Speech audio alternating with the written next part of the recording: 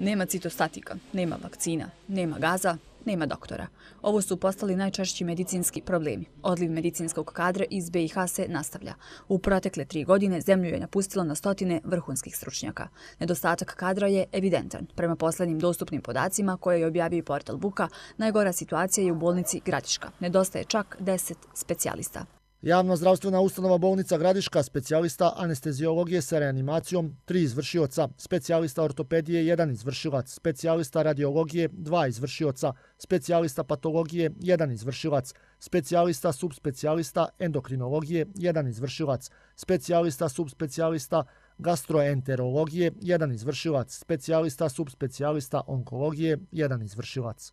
Ljekara nedostaje i u bolnici Trebinje, posebno iz oblasti onkologije, ginekologije i endokrinologije. U bolnici Sveti apostol Luka u Doboju imaju dovoljno ljekara, ali ipak angažuju i internističke i radiološke onkologe.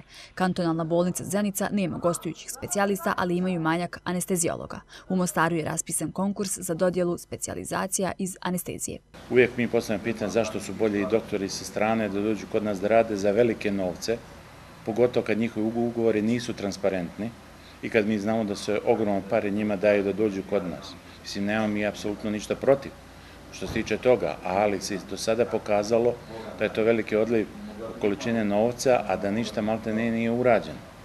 Znamo dobro da u pojedinim zdravstvenim ustanovama dolaze doktori već godinama i da nisu edukovali kadar koji bi njih zamijenio. Nezadovoljnih je sve više. Razlozi odavno već poznati. Niske plate i loš socijalno-ekonomski položaj.